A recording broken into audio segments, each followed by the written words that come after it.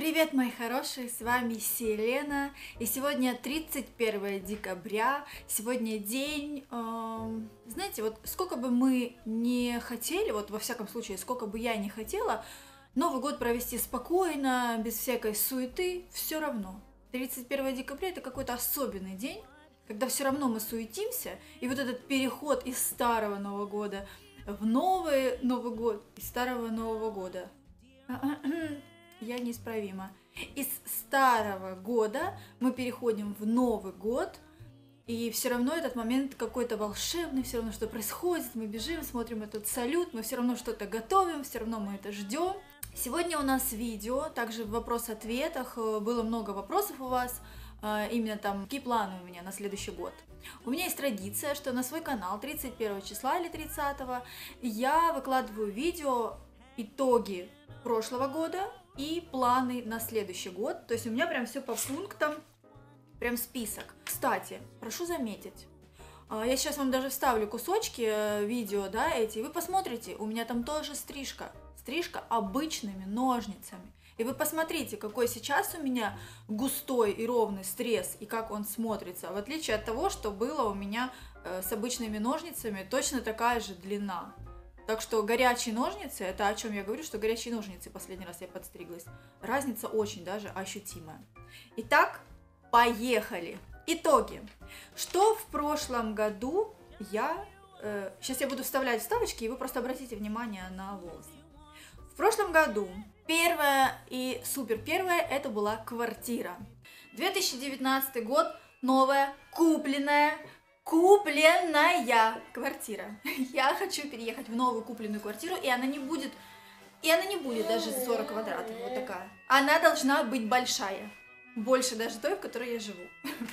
Я хочу минимум две комнаты, минимум. И, кстати, в позапрошлом году я тоже загадывала квартиру, но в прошлом году я, я переехала, то есть я не загадала купленную квартиру, я просто загадала новую квартиру. Я как бы в голове держала купленную квартиру, но загадала новую. В общем, я переехала в съемную в прошлом году, а, и уже в Новый год я загадала новую квартиру, свою купленную. Ну, хоть она у меня в ипотеке, но все равно я считаю, что это купленная, потому что ипотека, на мой взгляд, такая небольшая, и вполне себе реальная. То есть у меня нет какого-то ощущения груза, что я там не справлюсь, что какая-то большая сумма месячная. Я планирую погасить вообще э, досрочно этот кредит и очень быстро, и не потратить даже большие там очень проценты, то есть переплата, чтобы была небольшая. Но не суть. Хотела я квартиру больше, чем та, в которой мы живем. Мы живем здесь 40-41 квадрат, э, и у нас однушка сделана под двушку. Тем не менее, все равно места мало, и я уже хотела квартиру, чтобы было в ней э, две комнаты минимум, а то и три, да, и ну и квадратуру такую хорошую. Я себе, в принципе, присмотрела там трешку 80 квадратов, но, к сожалению, условия сошлись так, что та квартира мне не выпала, потому что я уже не помню, честно говоря, сейчас вот снимаю спонтанно, да, я сейчас буду долго вспоминать и тупить, но что-то там... А, Тогда, когда у меня появились деньги, у меня, кстати, еще одно из желаний, это туда же в одно было, мама мне подсказывала в прошлом году, чтобы я продала свою квартиру, в которой я жила. Она у меня была давно на продаже, да, но особо вот мне даже не было времени ездить ее и показывать, поэтому мы ее редко показывали но хотели уже ее скорее продать. И от этого зависела, в принципе, покупка нового жилья. Но так условия сошлись, что все сделалось очень быстро. Я определилась с квартирой, которую хочу, и как-то и покупатель нашелся, который очень довольный, мы в хороших отношениях. И на тот момент, когда я продала свою квартиру и пришла снова к застройщику, к сожалению, все трешки были распроданы. Но я не очень расстраиваюсь, потому что что не делается все к лучшему, там окна выходили на север. То есть там одно окно выходило во двор, в принципе, на дома, да, и, и этаж, в принципе, был достаточно высокий, что двора особо там и не видно будет. вот, то есть меня, меня это не устраивало. Ну и окна на север, они меня, я ощущала вот интуитивно ощущение мрака внутри. Северные окна это вообще не мое. Поэтому э эти квартиры, они все закончились. И даже был, была возможность э приобрести такую квартиру, только не от застройщика, а вот как там, от подрядчиков, да, и я уже с ними связалась, и они там уже вместе с собой договаривались, и застройщики отказали продавать мне эту квартиру, типа, есть квартиры другие, пусть смотрят другие. Я сначала расстроилась, расплакалась, а потом в итоге взяла квартиру 74 квадрата, 73, 74, 73 с половиной. Вот, и очень довольна, потому что там идеальный выход окон на запад. То есть два больших окна, они выходят на запад, и это просто идеально. Ничего не преграждает путь, я буду смотреть каждый день закат нереальный. Квартиру купила, свою старую продала. А, план самый главный, номер один, выполнила. Просто супер. Второе, встреча с подписчиками, чтобы я пела.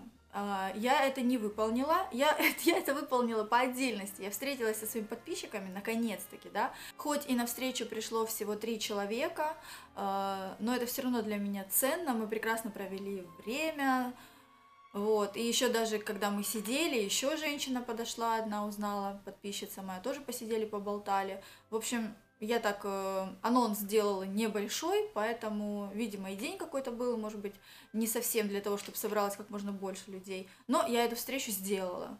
Но я на ней не пела. Мы просто посидели, поболтали, поели.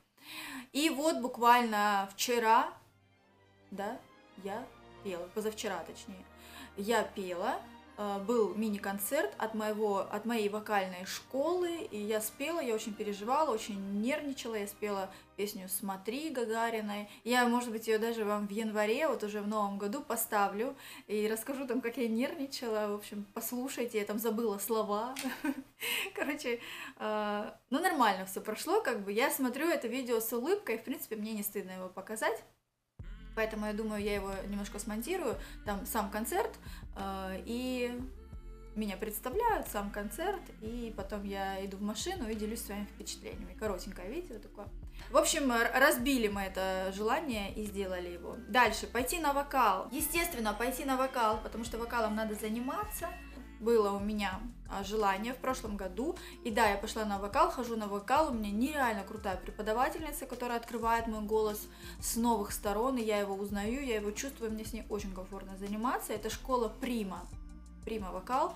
У нас, я даже не знала, это недалеко, это вообще на моем районе, Первомайский район, э, ДК Ростсельмаш.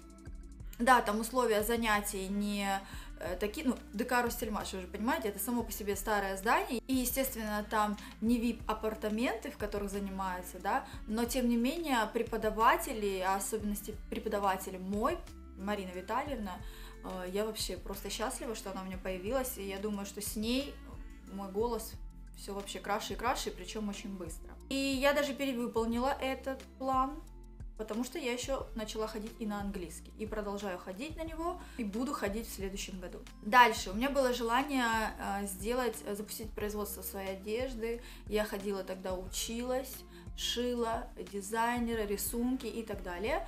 Ну и что касается моего нового увлечения, это дизайн одежды и шитье. Я тоже хочу этот момент реализовывать, и хотелось бы, конечно, в следующем году, может быть, к концу года как-то что-то, э, надеюсь, раньше получится, но какие-то свои уже образцы вам показать. Но эту затею я не осуществила, и более того, я ее не осуществила не потому, что я к ней сильно-сильно стремилась и не осуществила, не получилось, а потому что я передумала. Вот такой я человек. Я начинаю чем-то заниматься, а потом передумываю, вот, и понимаю, что это немного не мое. Само производство, шитье и вот это все не мое. То есть я с удовольствием, я бы даже организатором всего этого не была. То есть я была бы идейным вдохновителем этого всего, а организатор нужен мне совершенно другой, который найдет людей, найдет также дизайнеров, может быть, под меня, да, которые придумают какие-то виды одежды, кто-то будет шить, кто-то будет проектировать, кто-то будет организовывать всю эту работу, а я просто как имя, можно сказать, да, э, идейный вдохновитель как бы всего этого. Вот так бы мне хотелось. Но, к сожалению, на это энергии нет у меня и не было, и желание немножко подпропало на этот год, да, может быть, когда-то в дальнейшем мы это устроим, когда я найду э, определенных людей и создам определенную команду, с которой мы будем все это делать. Дальше, путешествия я не планировала, и, в принципе, в этом году я не путешествовала. И шестое, Дэнни ходит в садик, да, вот, то есть я говорила, что он будет ходить в садик, тра-ля-ля. Что касается Деньки, он также будет ходить в сад. ну вот он и ходит в садик целый год, ну плюс мы еще начали ходить в бассейн, что очень прекрасно, он уже ныряет, плавает у меня нет-нет там чуть-чуть. в общем, комфортно развивается. И вы знаете, Э, вот эти вот все планы, они такие, в основном я их все выполнила, да, кроме дизайна одежды. В основном все, все выполнила. Вот, в 90% случаях прям можно сказать, что я молодец. Но если я поставила какие-то минимальные, я смотрю, планы, давайте все-таки поставим что-то такое прям конкретное на следующий год. И первое, что я хочу себе поставить за план на следующий год, это закончить ремонт. Естественно, я не хочу, чтобы мой ремонт в квартире длился годами, потому что я люблю жить в комфорте, и каждый раз, то есть я понимаю, что шмотки, вот это все, это уже будет немножечко на второй план, действительно, когда прям будет возможность такая, не будет это бить по карману, и не буду я урезать что-то в квартире. Я вообще хочу дизайнерский ремонт, но дизайнерский ремонт это не означает, что прям к вам придет дизайнер, да, и все сделает. Может быть, дизайнерский ремонт мы сможем сделать и сами. Кто-то подскажет ванну, как сделать идеи какие-то, да, и я фотографии смотрю разные, и я прям смотрю, о, хочу вот такую, я иду и покупаю все под это, да, а, допустим, кухню там, хочу вот такую, я раз-раз уже что-то делаю, но можно сказать и дизайнерский, почему нет? да. А, в общем, что я хочу обязательно, чтобы у меня было, это я хочу в следующем году купить кухню хорошую себе, классную, вот там я со стойкой мечтаю, чтобы она была такая ну, в общем, классная, да. Большой телевизор, диван, чтобы полностью обустроить вот эту свою кухню-студию. Э, детскую хочу оформить, чтобы она была уже в следующем году, может, к концу года, посмотрим, как будет. Э, так, большой телевизор, это я сказала, да, гардеробная, чтобы была. Не знаю, как ее будут делать. Очень много девочек в Ютубе делают гардеробные своими руками, мне уже видео скидывали. И, возможно, да, только вопрос, где это будет, я еще не знаю. Но хочется мне гардеробную, какой-то такой шкаф большой, куда можно зайти, повернуться вот так везде, а там все у меня развешено, и везде всему, каждой вещичке есть место. Это что касается квартиры. Также я бы хотела в следующем году, когда я закончу ремонт, уже хочу начать досрочно погашать кредит. То есть помимо того, что, допустим, я плачу там а, шесть с половиной тысяч, это идет на основное погашение долга, а 21 тысяча это идет у меня а, погашение процентов, да, мне бы хотелось, как бы, чтобы было, знаете, там 20 на 20, например, 20 я погашаю основной кредит, а 20 списываются у меня мои проценты.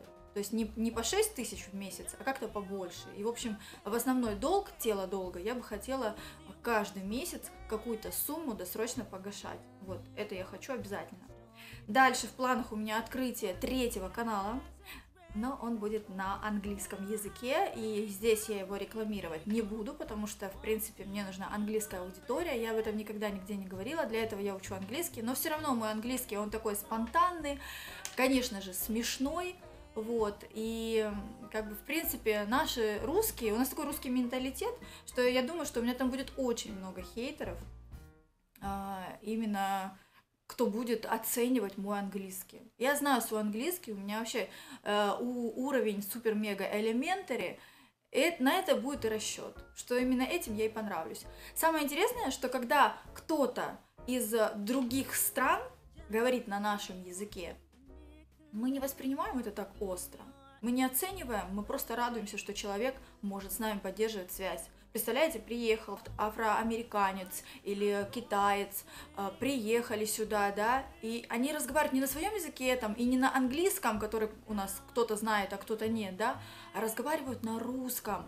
Пусть это получается корявенько, да, смешные какие-то словечки, но человек разговаривает, и мы не скажем, фу, какой у тебя плохой русский язык, да, фу, как ты разговариваешь плохо, да у нас в голове не будет, ну правда, я не знаю, кто так думает.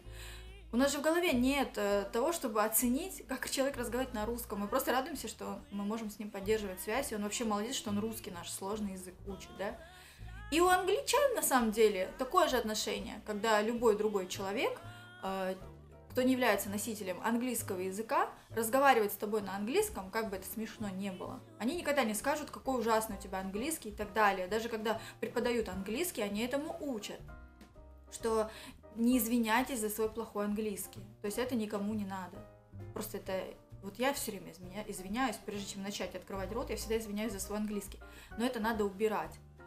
Но наши русские, которые умеют разговаривать по-английски, у кого более-менее какое-то есть произношение и знание английского, они всегда скажут тебе, какой у тебя плохой английский или какое у тебя плохое а, произношение.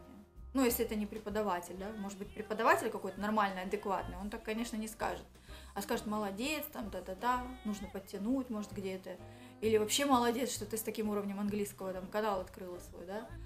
Но вот обычные такие обыватели, которые любят поумничать, они всегда э, вот, скажут тебе, что у тебя это плохо, да, что петь ты не умеешь, э, английский у тебя плохой, и что-то там еще ты делаешь тоже плохо, танцуешь плохо, живешь плохо, говоришь плохо, э, в общем, вот. Поэтому я бы не хотела, что касается английского, это вообще, я уверена, что от наших русских будет много хейта, поэтому я бы не хотела это рекламировать вот этот английский канал. Но я собираюсь его открыть. Я вообще его в прошлом году собиралась открыть, но вот эта квартира и все дела, в общем, перенесла на этот год. Вот. Как он будет называться, я еще не знаю. И, а, в принципе, не планирую русскоязычной аудитории об этом говорить. Четвертое. Э, бизнес. У нас же открылся бизнес. Бизнес пленок, защита пленок наших. У нас рабочий интернет-магазин. У нас очень высокое качество, хорошие цены. Вот, и, в принципе, у нас даже уже можно покупать франшизу. Но именно интернет-магазин хотелось бы мне вывести в ноль, чтобы он приносил в ближайшие там месяцы в ноль он работал, да, и потом, конечно, чтобы был заработок уже от 150 рублей чистыми я бы хотела зарабатывать с нашего нового бизнеса. Ссылку я оставлю под видео, кому интересно, посмотрите, заходите. А, Еще планируется много купить текстурных пленок разноцветных в начале года. Вот. Но пока есть тоже интересные пленки, можете посмотреть. Можно защитить свой телефон, часы, планшеты, ноутбуки. В общем, смотрите. Дальше с ребенком, что он также продолжает ходить в сад, а, также продолжает ходить в бассейн. И еще я хочу в следующем году отдать его уже на футбол. У нас где-то здесь недалеко есть э, футбол, где как раз с трех лет берут дети. Но просто сейчас, мне кажется, ему совсем еще рановато. Вот сейчас чуть-чуть, чуть-чуть еще вот я почувствую. И я думаю, что отлично было бы его туда отдать. Там он энергии будет тратить много. Дальше я хочу, чтобы ко мне приехала в следующем году свекровь моя. А, как раз уже будет закончен ремонт. Мне так хочется, чтобы уже было комфортно принять ее в гостях, чтобы выделить ей отдельные апартаменты, чтобы она могла отдохнуть там, да, и пригласить ее в гости.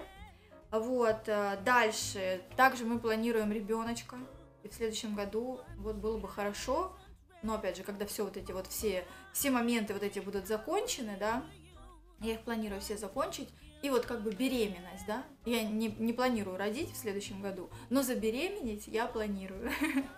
Вот. И девятое я также планировала, но не озвучивала в прошлом году, что я хочу открыть школу блогеров, а, сделать э, такие недорогие курсы для тех, кто хочет стать блогером, именно передать свой огромнейший, богатый опыт – всю технику и так далее, и так далее, и, может быть, даже создать какой-то общий такой форум, где бы я поддерживала и помогала э, ежедневно своими советами начинающих блогеров, чтобы мы вот так вот общались. Все, кто прошел курс, чтобы вот э, создали такой один общий форум, где мы бы общались и где я помогала бы э, своими советами, знанием и опытом. Вот, а, тоже планирую в следующем году. Надеюсь, все-таки это все дело получится. Вот. Ну, в принципе, и все. Я думаю, хватит планов, а то я слишком много себе напланировала. А, очень приятно, кстати, когда ты подводишь итоги, и ты все выполнила. Молодец. И можешь делать себе новые какие-то планы. Поэтому много их не хочу делать, чтобы, когда я их подводила, не расстраивалась, что их не выполнила и переносила на следующий год. Вот такие вот дела мои хорошие. Что я могу вам пожелать в следующем году? Самое главное, я хочу э, пожелать здоровья, потому что здоровье это важно. Все эти планы осуществля... осуществляться, осуществляться у любого человека. Э, главное, чтобы было здоровье и желание. Да? Поэтому здоровье на первом месте. Я всем желаю, чтобы вы были здоровы и бодры. Э, всем желаю хороших и добрых мотиваций хороших и добрых желаний, чтобы они приносили пользу не только лично вам, но и окружающим вас людей. Хочу пожелать здоровья и счастья всем вашим близким. И всех поздравляю с наступающим новым 2020 годом. Кстати, год-то у нас 2020. По нумерологии, мне кажется, это очень неплохое число, и у многих может произойти что-то, перемены какие-то, я думаю, в хорошую сторону. То что, то, что вы так давно ждали, мне так кажется. И у меня в этом году точно будет именно так. Все, мои хорошие, я желаю вам провести прекрасно этот Новый год э, с улыбкой на лице. И прощаюсь с вами до следующего года. Мой гад был, как звучит это, да? Но это, возможно, завтра или послезавтра. Мы проведем Новый год, и я э, обязательно вам сниму видео, что мы готовили, как мы его провели, что мы делали и так далее. В общем, будет такой влог с Нового года обязательно. Все, я с вами прощаюсь, люблю вас, целую и пока-пока!